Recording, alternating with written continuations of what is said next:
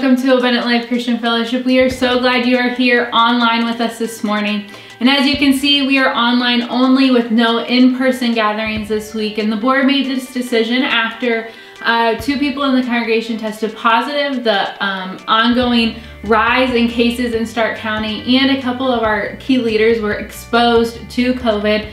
Uh, 19 as well. So we made the decision to close this week to do a deep cleaning of the church Make sure that everyone continues to stay safe and healthy. And the hope and the prayer is that we can open again next Sunday, November 8th, coming back in person again. So that is our goal. If you want more information about this, you can go online at www.alcfohio.org and there will be all kinds of information there about this week and how to come back in person with us next week.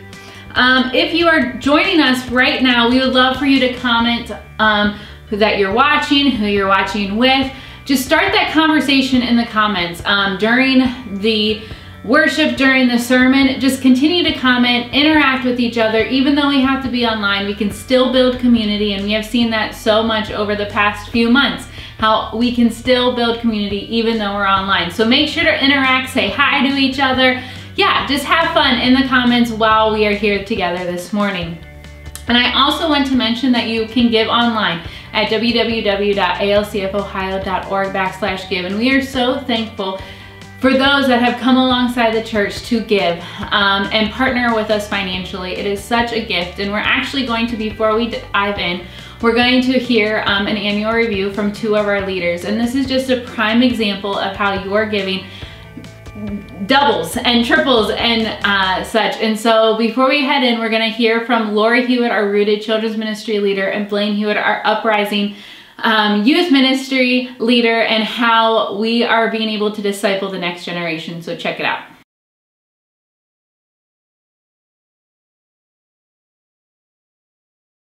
Hi, my name is Lori Hewitt, and I am the Children's Ministry Team Leader here at Abundant Life.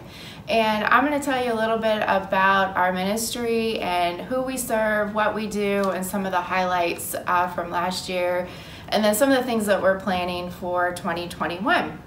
Um, currently, our ministry serves about 50 children from uh, ages nursery up to uh, fifth grade, and um, we serve them on Sunday mornings. Um, in the nursery and then within four classes um, that we do lessons and Bible stories and activities and fun things with the kids just to teach them uh, more about Jesus.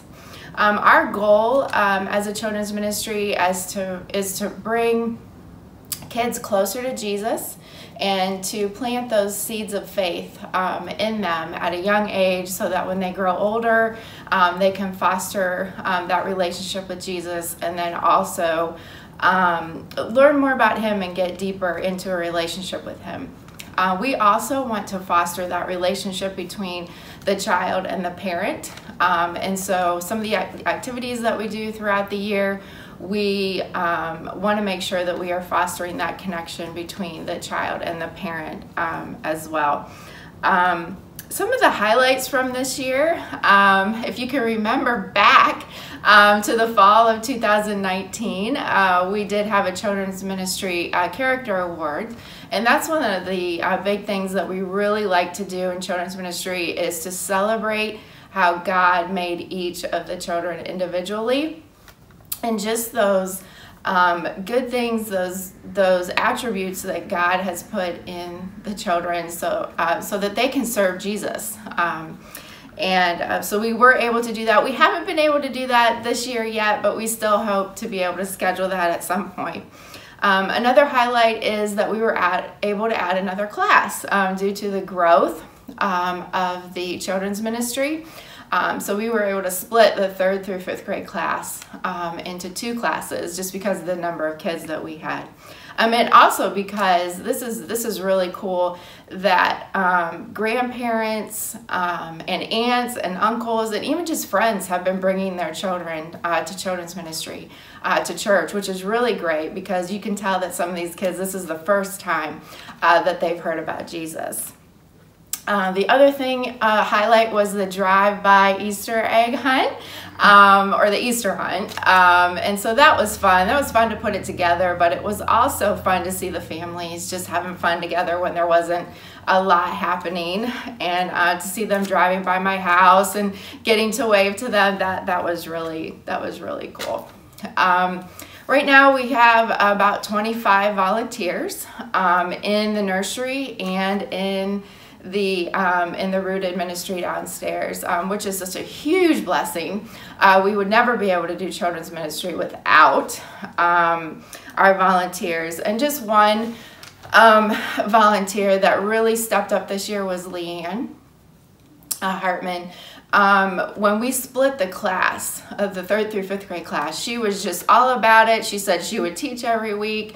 Um, we didn't even have a room for them, but she really, we really, she just really worked hard to try to figure that out. And that class um, is full of some uh, energy-driven boys, uh, but she wasn't scared about it, and she just dove in um, and really had a, a, great attitude about it. So I just want to make sure that she knows that I appreciate that definitely about her. Um, this year's theme, uh, Let There Be Light, a year of clarity, hope, and light. Um, we hope to this year a couple ways to be able to implement that. We don't really know what children's ministry um, is going to look like um, for the rest of 2020 and into 2021, but uh, we are planning some activities that would foster the giving hope and light. Um, especially during Christmas. And so we have something scheduled and something set up called um, uh, Light Them Up, um, which we'll be giving you a lot more details about that. But um, I just think it's really important for our children to be able to share the light that they have and the hope that they have. Um, children are so resilient and they have this like hope and just happiness and joy in them that no matter what happens um, that they're able to share that and so i want them we want to create an environment and some activities that they are able to do that to be able to share that light. So make sure that you keep watching for that video uh, about Christmas because um, it I think it'll be a good time uh, for your family to be able to share the light. Um, the other thing is that um, we our next curriculum uh, when we are able to start uh, children's ministry again will be the basics of the faith and so i think that that will create clarity for our kids um, and even some of the newer children that have been a part of ALCF for a long time. Um, so just to end, I just want to say, kids, that I miss seeing you every week and hanging out with you.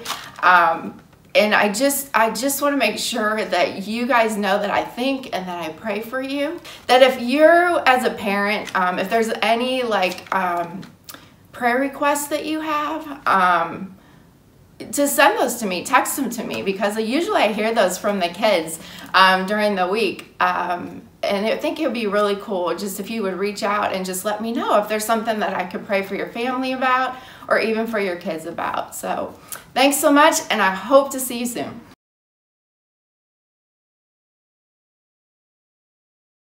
Hi, my name is Blaine Hewitt and I'm the youth pastor here at ALCF. Um, we call it Uprising Youth, and uh, it's just for the kids in our church or even outside the church from grades 6 to 12. And our goal as a youth ministry is really just to come alongside kids in their journey with Jesus and help them along the track and introducing them to Jesus um, and helping them grow in their relationship with Him. Um, like the three highlights are that we just kind of started um, this year, and that we started off great, and it was so awesome. Um, another would be just getting to know um, some of your kids and some of the kids that have come to our youth group. But they're all so awesome, and it's so awesome to build relationships with them. And finally, it's just also um, we've had so many like fun and cool times is that we just um, creating memories with the kids yeah, I I think that even um, during the pandemic, all of our leaders did such a great job of just texting the kids um, and just staying in contact with them. And even um, when we once we got out of quarantine, we were able to meet sometimes outside during the summer, and we just had a great time um, connecting again and just get kind of having a getting back to normal like um, when we would do slip and slide kickball, and um, we had a few people wipe out um, sometimes, and I was one of them. And um, the way that we have latched on to let there be light, um, and we've also kind of added a theme to this year, and it's called Welcome Home. And we and I believe that goes right across the right across the same line as let there be light because we just want to show kids um, that they are welcomed in their home is Jesus. And that ultimately too that the youth group and the people in the youth group can also be found in home. And that is a safe and trustworthy place that they can show their authentic selves um, during that time. And so that we can all also get closer to Jesus who is our ultimate home. And so shedding light into this world and yeah and just showing them who they are. I'm really excited about this year because I think there's so much opportunity to connect with, um, just connect with people. And you know, um, I think what COVID has kind of shown us is that how important relationships really are. And I can already see it from our kids of just connecting that, how much um, connection really um, matters. And so we really, really want to focus on that this year. And, you know, even uh, working with the Legacy Project and stuff too, like um, just I'm just excited for what God can do when we when we do have a place that is safe for everybody to come into and experience Jesus. And that is what really excites me about this year. Yeah, and if you guys could just be really, really praying, is that we've had some amazing things already happen in our first five weeks that we have been meeting as a youth group. Um, in the past five weeks, because we actually had 12 kids um, be, want to begin a relationship with Jesus and say yes to Jesus. And you know, now um, it is so amazing that salvation is happening. Um, but we also want to dig deeper into who Jesus really is and help them go along this journey and, um, yeah, just go deeper into who Jesus is at the same time that we are experience, experiencing salvation. So if you could please pray for them in the new, um, yeah, just the kids that have begun their relationship with Jesus. Good morning, Abundant Life. It's good to be with you virtually again. I'm so uh, glad to just hear what's going on in the youth of our church and with uh, Lori and Blaine as leaders of the children and youth ministry. It's so exciting to see that. And I'm just so glad because they're the next generation of this church. They're the ones who are going to be spearheading things, leading worship someday, leading those ministries someday, pastoring this church. I'm just excited about that. And so we just uh, really are grateful for them. Want to pray into them. Um, kids, if you're uh, listening and, and, singing this morning uh, with us, we just want you to know how awesome you are and how loved you are. And I'm going to uh, read here from Psalm 105, uh, verses 1 through 5, before we get into the singing this morning. Oh, give thanks to the Lord, call upon his name. Make known his deeds among the peoples.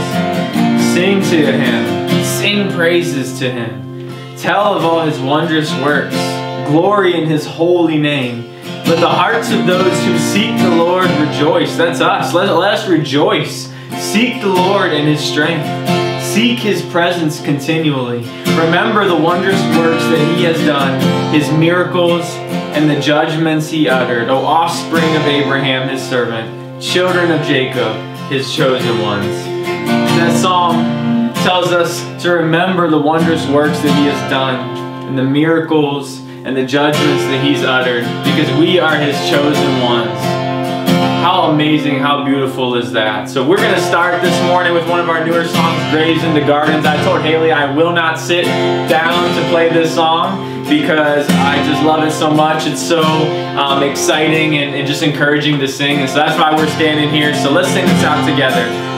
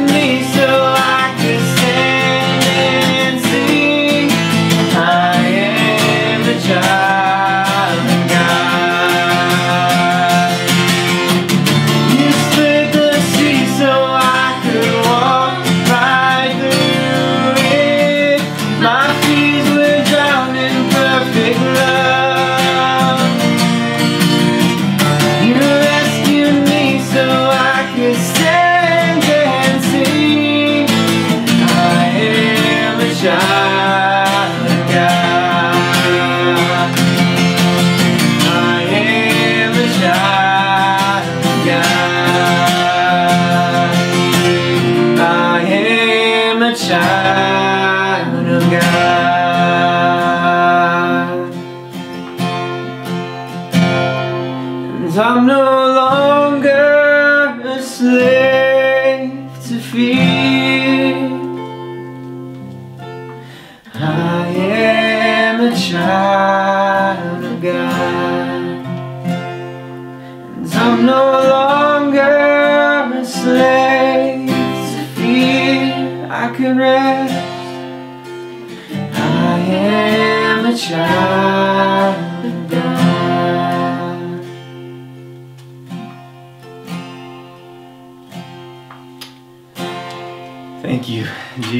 We are no longer slaves to fear.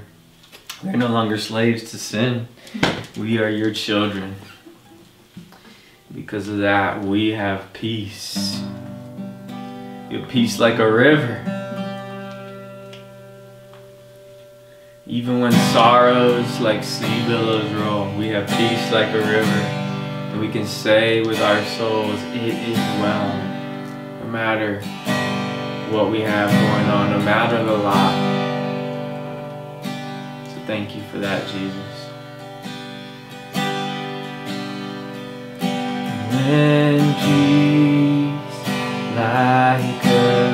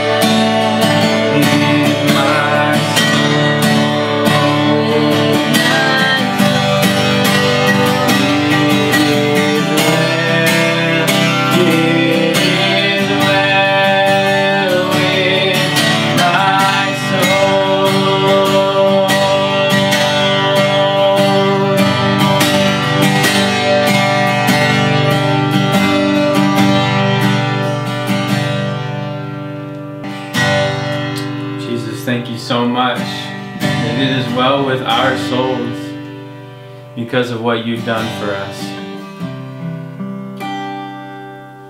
And because of that, we don't have to fear when the storms come, when the waves come crashing over us. We don't have to fear. And when we do fear, you treat us so gently. You don't shame us for it. You understand it, you get us, you empathize with us. And then you remind us that we don't have to. And we can trust in you. And so, Father, we pray that you would help us to do that this morning. That we trust in you and the work that you're doing. Pray that as we continue to learn about how we were made, how we were made especially for rest and for celebration, pray that you would speak loudly to our hearts or softly as you would please and that we would be open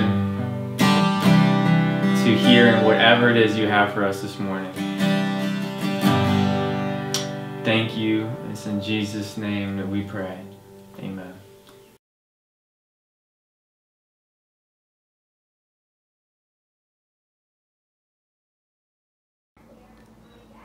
Good morning. Thank you uh, for joining us. We are praying that this Sunday is the only Sunday we'll have to do our service exclusively online. We hope to be back in person next Sunday. We encourage you to join us in that prayer.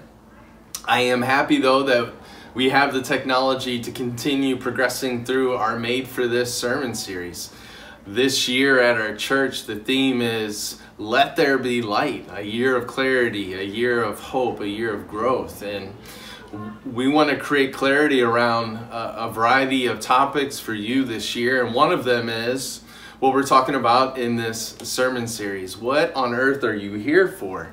What were, what were you designed for? What's the purpose and meaning of life? And so we're hoping to help you answer those questions. We know that there are a lot of people asking those questions, especially now that our world um, is experiencing what it is experiencing. I think with this pandemic and with the quarantine that we did have, it really gave people to, to time to think a little bit more than what what they normally had. And I, and I think some people started asking those big existential questions. And so they really are the most important questions we can ask.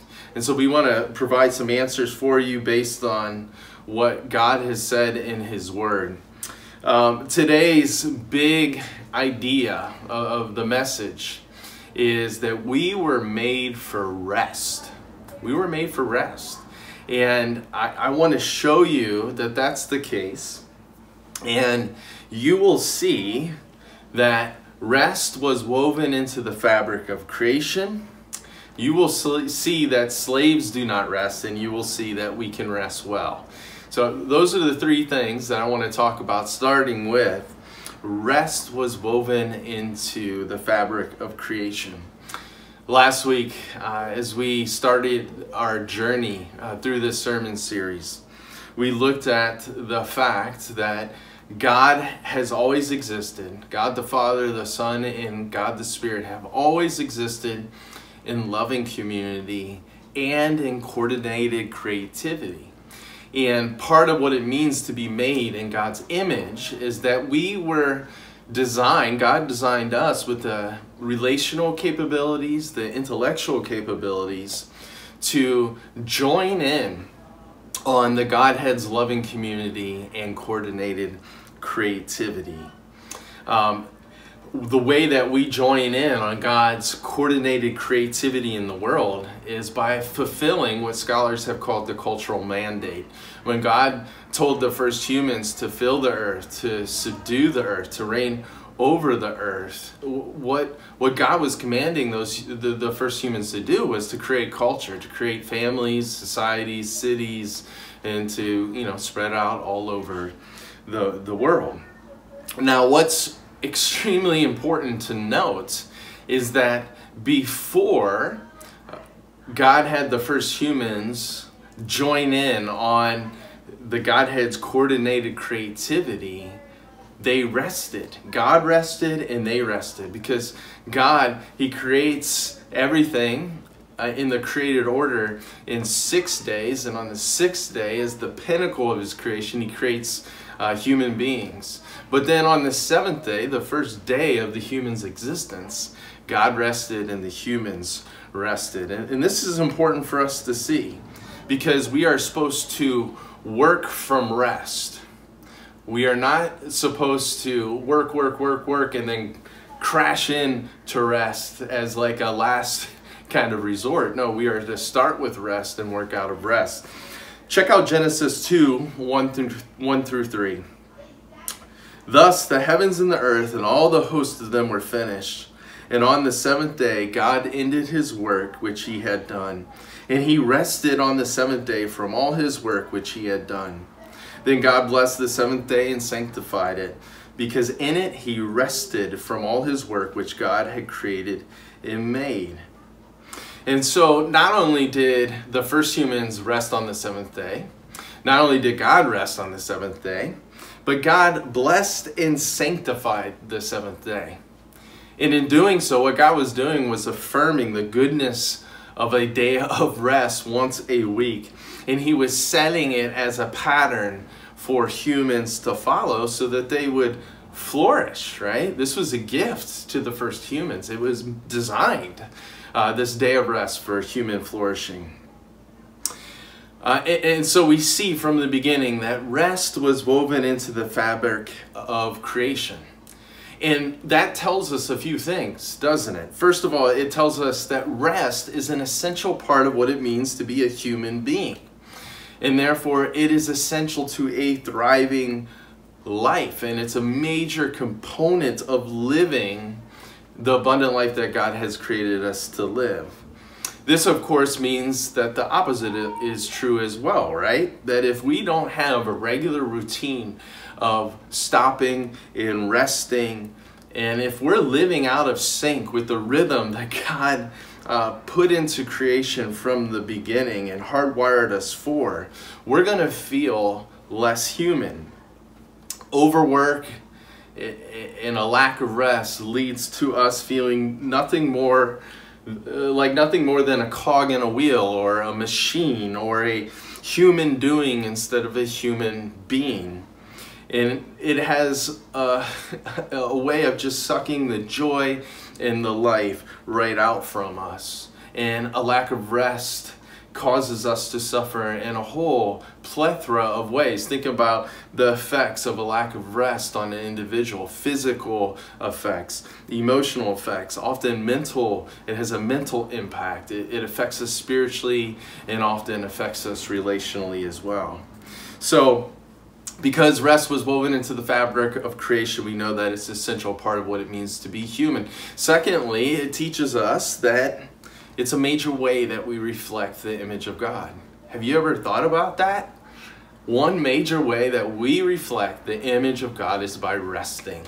Because God rested, right? And God is a God of rest. And we'll talk more about that in a bit.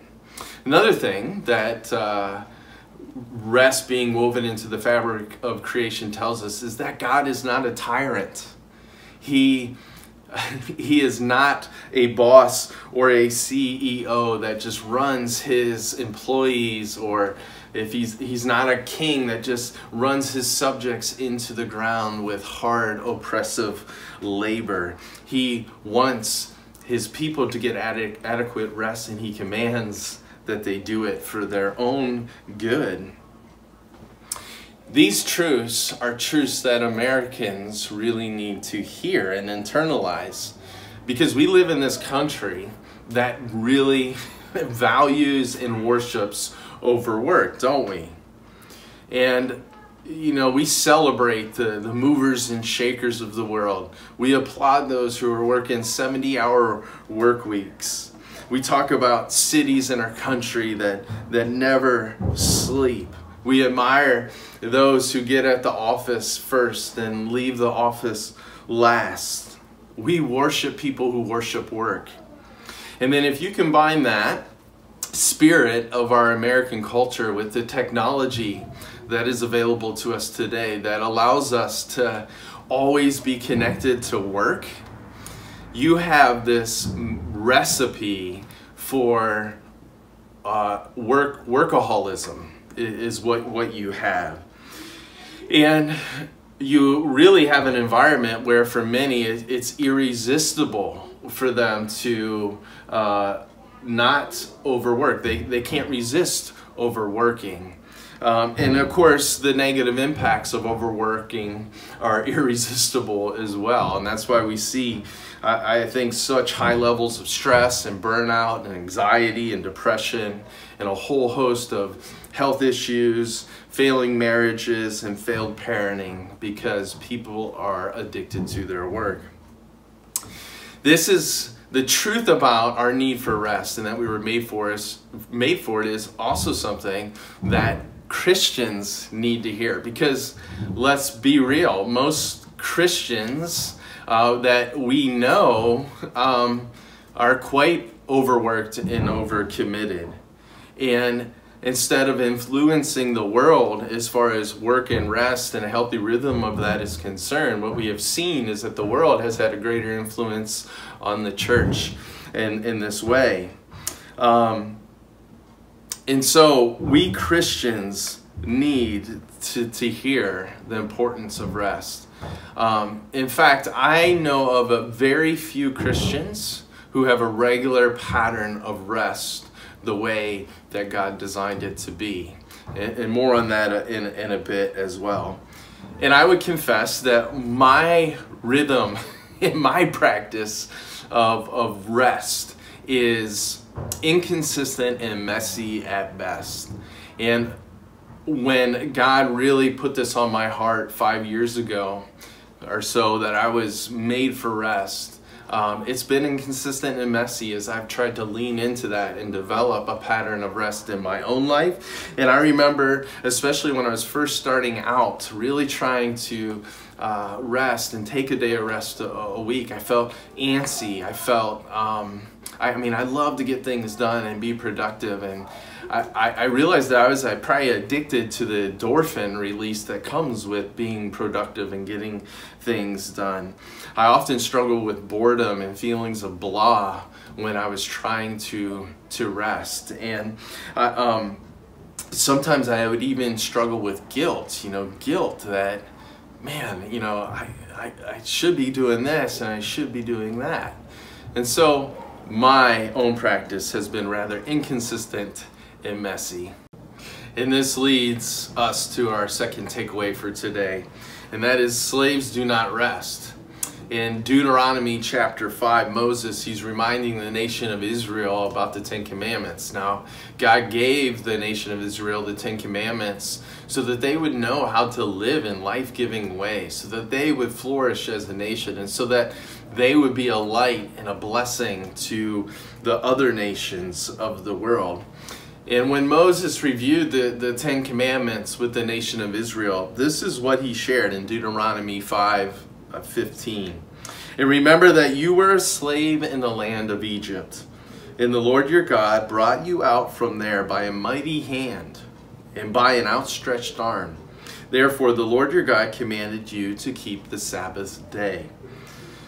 Moses was reminding the Israelite people that they were once slaves, right? And when they were slaves, they couldn't observe the Sabbath. They didn't have the, the luxury of being able to take a day off a week to rest. They were slaves, and therefore they had to do what Pharaoh told them to do.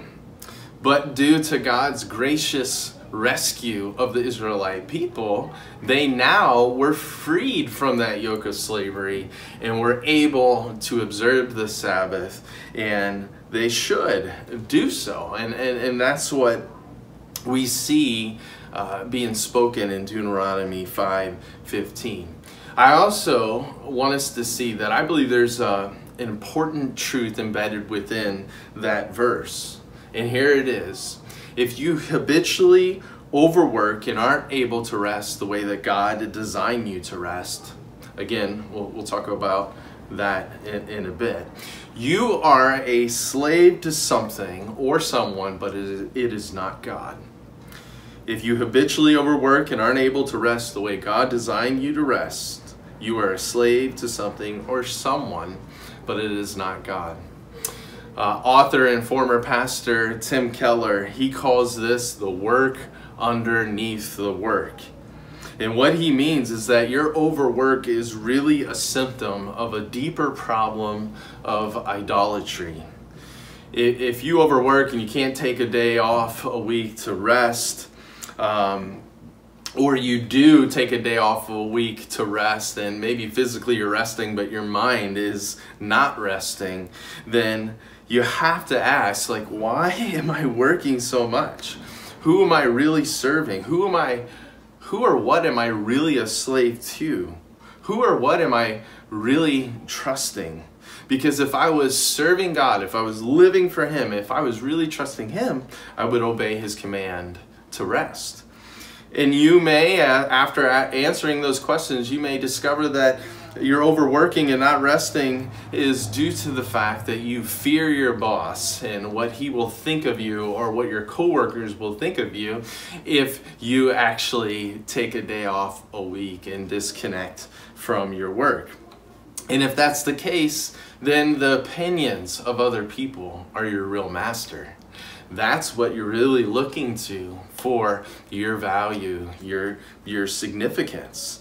Now, maybe you ask those questions and you, and you discover that the reason that you're overworking is because you believe that if you don't, if you take a day off a week, uh, uh, take a day off uh, each week, that your company or your team or your organization, it will fall apart. Well, in that case, what you're really trusting in is your own abilities and capabilities, and it's like you're believing that you hold the world together, right? Like that you're omnipotent, right? you that you, without you, you're you're irreplaceable, and things just fall apart without you. And it's you're thinking that it's a, it's a lack of trust that if you take your hands off of, of work for a day a week then well god he, he can't possibly hold things together for that day and so I, i've got to work maybe you ask questions about your overwork and you discover that um, the reason you're overworking and not finding time to rest is because you want more. You want more stuff. You want a better home. You want be a better car. You want to go on better vacations. And maybe the God you're really serving is the God of materialism. And you're trusting in that for your satisfaction and significance. And you're trusting in that to make you feel secure in life. And we could go on with examples, but we, if we're overworking, and that's a habitual pattern for us, we have to ask these questions. What is the work underneath the work? What is the thing that we are um, worshiping? What idol are we serving that is really behind the symptom of overwork?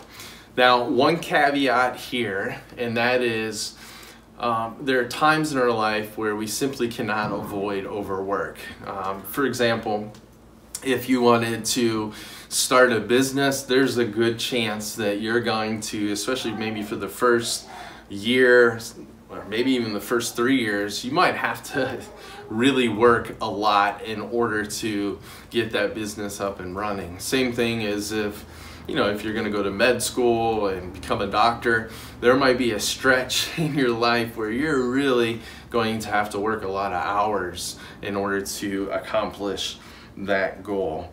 And then there are people in the world that have to overwork simply to survive.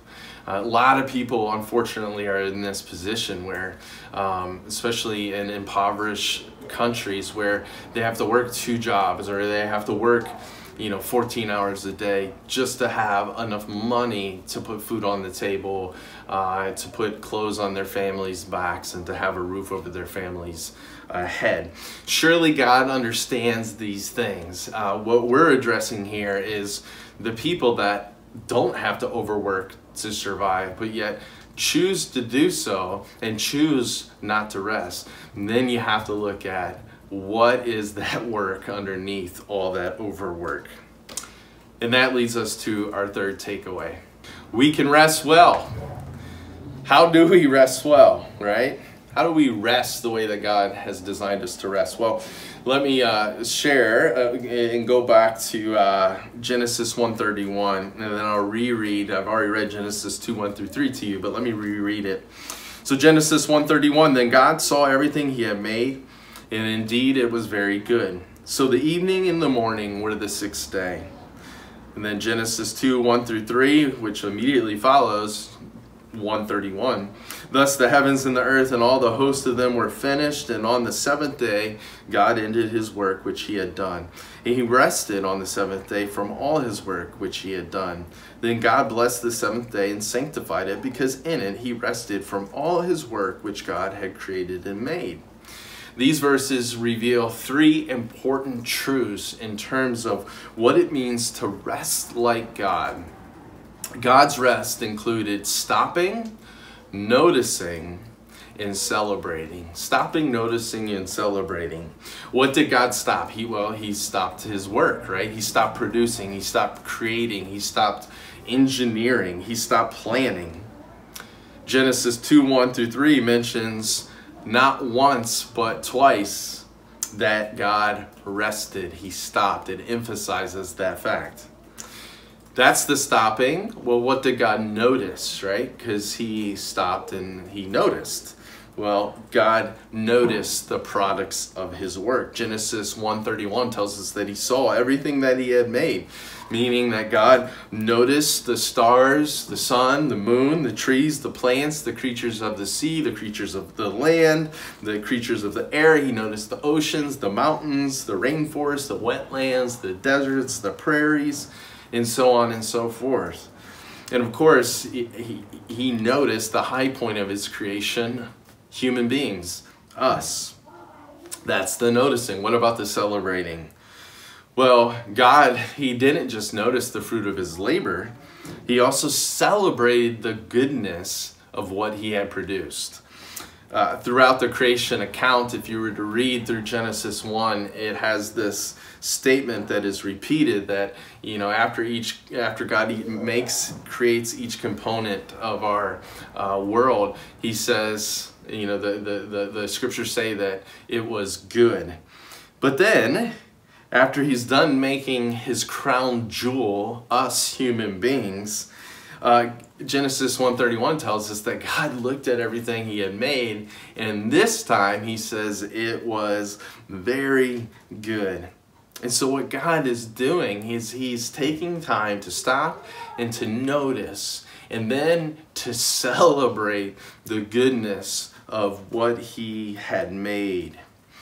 Goodness here, as um, Walter Brueggemann uh, notes, does not refer primarily to a moral quality, but to an aesthetic quality, and therefore might be better translated lovely, pleasing, beautiful.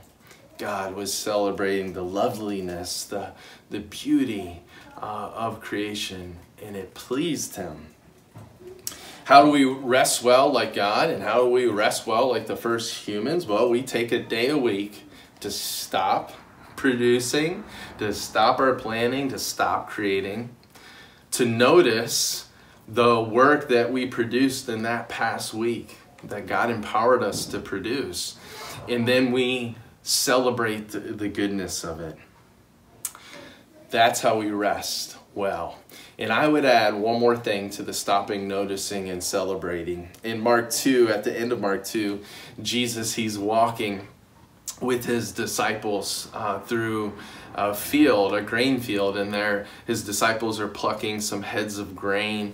And the Pharisees, which were the Jewish religious leaders of Jesus' day, they notice this is happening and they get upset because you're not supposed to do any work on the Sabbath and they had a lot of extra traditions that they attached to the Sabbath and for them plucking a head of grain was considered work, and so Jesus' disciples shouldn't be doing this. Now, when they got angry, Jesus told, you know, told them, hey, remember the story of King David when he went into the temple and ate the bread that was only reserved for the priests because he was really hungry and he gave it to his companions that were really hungry? Re- remember that? And, and what Jesus was trying to show the Pharisees is like, look, you're not, all your traditions and all your stringent rules and all your legalism is not taking in account human need. It's not taking in account human need. And what Jesus then goes on to say is that, hey, uh, Sabbath was made for man, not man for the Sabbath. In that statement, Jesus was telling the Pharisees, like, look, you have made the Sabbath this burden for the people because you've added all these traditions and laws to it as a way of earning favor with God. You have totally taken the Sabbath and made it something it's not it was never meant to be. It was meant to be Sabbath was made for man. That that they were to the sabbath was a gift. It was to be a delight. It was to be a day where they could receive physical and spiritual renewal. And you have taken it and you've turned this into a thing where man has to serve the sabbath and it becomes this legalistic duty and a tremendous burden. And so jesus wasn't saying like sabbath is bad and i'm here to you know get rid of the sabbath. He was condemning the way the Pharisees have had misused the Sabbath and what they had turned it into.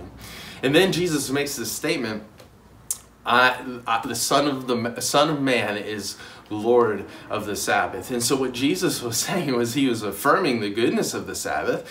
And he was saying that, look, I created the Sabbath because we know Jesus is the Son of Man. I created the Sabbath. I, I, I made it, right? And so Jesus was Lord of the Sabbath.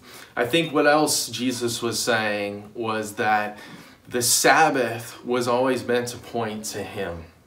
And the reason is, is because Jesus, in him, is where the deepest rest is found. Why is that the case? Because Jesus lived the life that we were supposed to live but couldn't, and then he died perfectly the death that we should have died for our rebellion. Why? So that when we put our trust in Him as Lord and Savior and we believe in Him and we receive Him as our King, we can have His perfect performance record, His perfect life credited to our account, and our sinful life can be credited to His account. Um, and because he died in our place, we can receive forgiveness from sin. We, and because he rose from the dead and lives at the right hand of the Father, we can receive um, his power into our life that, that helps us to live victoriously over sin. And he gives us a new heart and we become adopted into God's family. And, um, and so, we no longer have to find our significance and our security and our satisfaction in what we do for work. Ultimately, we don't have to find those things in Him.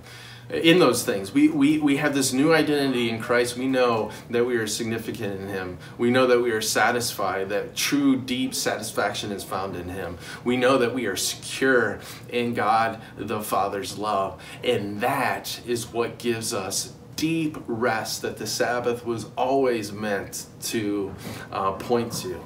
And so um, I would add the third, uh, the, the, to the stopping, noticing, and celebrating, I would add remembering. Remembering what Jesus has done for us and remembering who we are in Christ for those of us who have put our trust in Him. That is how we will rest well. And it's that remembering part that I think a lot of people are missing because they don't know Jesus, right? And so they may take a week off, they may take a weekend off, they may take a day a week off, but because they don't know Jesus, they're not truly at rest. They've never experienced that REM of the soul, that deeper rest that can be found in Jesus Christ. And so there you have it. Um, you were made for rest. You were made to stop, notice, celebrate uh, your work and the fruit of your labor. And you were made to stop, notice, and remember uh, what Jesus has done for you so that you can have rest. He experienced inner tur turmoil. He experienced utter unrest as he was beaten, unfairly tried, and then crucified. He experienced all of that, all that unrest, so that you could experience deep, deep, soul replenishing rest in him. And so I want to encourage you this week how will you start to develop a pattern of rest the way that God designed it into your life? What will you say no to so that you can say yes to rest? So I, I mentioned how, you know, five years ago or so, I, I'm bad with time, but um, God really impressed upon my own heart my need for rest and my need to um, practice the Sabbath. And, and I, also have confessed, I confess to you that um, it's been, my practice of rest has been inconsistent and messy at best. And, you know, I shared that at the beginning it was really hard for me to rest you know that i so was addicted to the adrenaline rush of being productive and getting things done that i found it difficult to rest. But i'm so happy that uh, god empowered me to stick with um, leaning into developing this pattern of rest because although it's still messy and inconsistent, um, we I, I, think I've broken, God has allowed me to break into the sweetness of, of rest um, to the point that it's like I just can't wait every week for our day of rest. And so what does it look like practically for me in my own life is right now in this season of, of life, um, when Mary, since I work on Sundays, that's not a day of rest for, for me especially.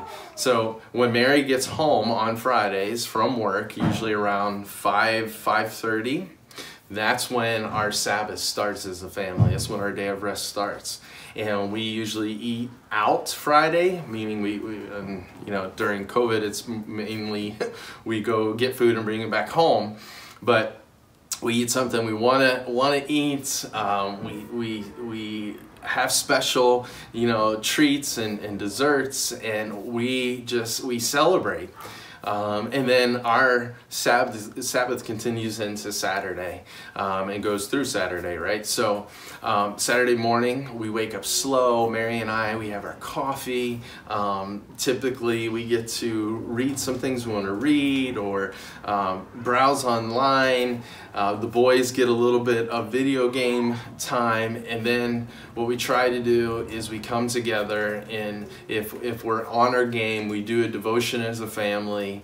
If we're really on our game, I'll ask everybody, you know, what, what is one thing that you're really thankful that you were able to produce this week at school or in your work? and we just celebrate the goodness of, of the fruit of our, our labor. And we try and remember too during the devotion, um, Jesus' sacrifice for us and our identity in Him and remind us of our ourselves of our identity in Christ because we know that's where deep rest is found. Then we typically in the morning Saturday, at least we try to do something fun together as a family, whether that's going hiking, whether that's playing you know, basketball, whether that's playing baseball or football in the backyard. We, we try and do something where we really connect as a family. And then uh, the afternoon, uh, we reserve some time where we can each go do something that will refresh us, that we will enjoy. And then a lot of times Saturday evening, we will have friends over or have family over or, or do something fun that Saturday evening. And so that's, and we, I mean, we talk about like, we can't wait for Sabbath day. And we talk about, we use Eugene Peterson's words that Sabbath is to, for us to pray and play with God. And it's become such a life-giving practice for us. And so I just encourage you, um, you know, figure out what works for you in your season of life and for your family. It does not have to look like, you know, the way the cockerels do it. I think Jesus gives us plenty of uh, room to, to figure out what is going to work best for us, what is really going to replenish our soul, what is really going to replenish our bodies, what is really going to allow us to focus on Jesus and have a heightened aware of his presence with us during our day of rest.